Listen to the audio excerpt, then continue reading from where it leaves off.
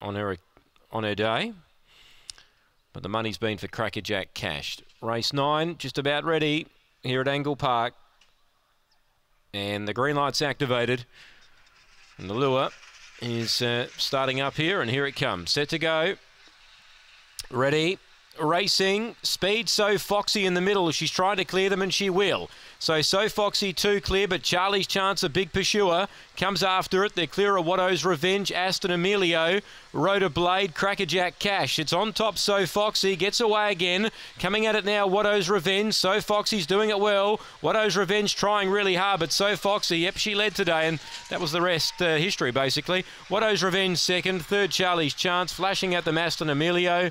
Probably finishes fourth from Rhoda Blade and the Wellback uh, Crackerjack Cash has finished in last position, 22.94 the time for the uh, the yellow rug.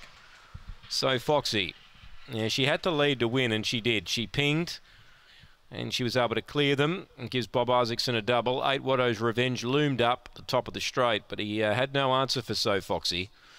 And four Charlie's Chance gets into third, two fourth Aston Emilio. Five, eight, four, and two. Twenty-two ninety-four the run, and a seven twenty the early split. Run home in twelve seventy-four. One and three quarters by three quarters. Five, eight, four, and two. Crackerjack Cash never really a chance. Uh, got out of its ground and really didn't threaten one little bit. 5842, the last race 10's up next, 11.22 start time. And uh, that race is due in around 14 minutes. Uh, we stand by for the all clear.